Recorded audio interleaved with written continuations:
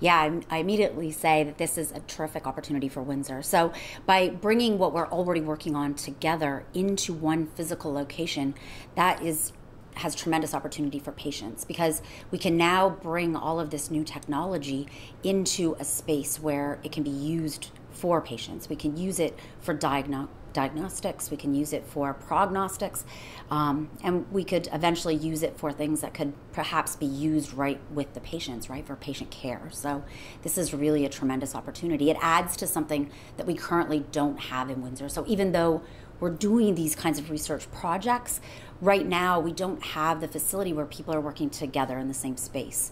Um, it's actually one of my clinical collaborators, Caroline Hamm. She often um, cites uh, a document that came out, and it says that people that live in a city that has clinical research going on in it live longer.